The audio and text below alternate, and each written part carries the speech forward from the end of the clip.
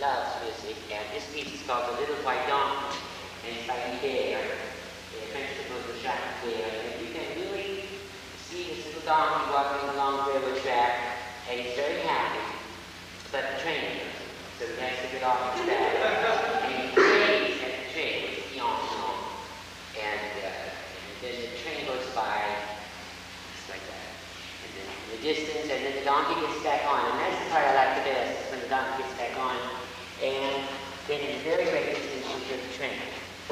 for my grandson.